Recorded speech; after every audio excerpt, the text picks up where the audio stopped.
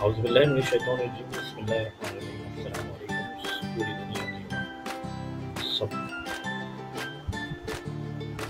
2024 में, जैसा कि आप देख रहे हैं डिजिटल मार्केटिंग 2024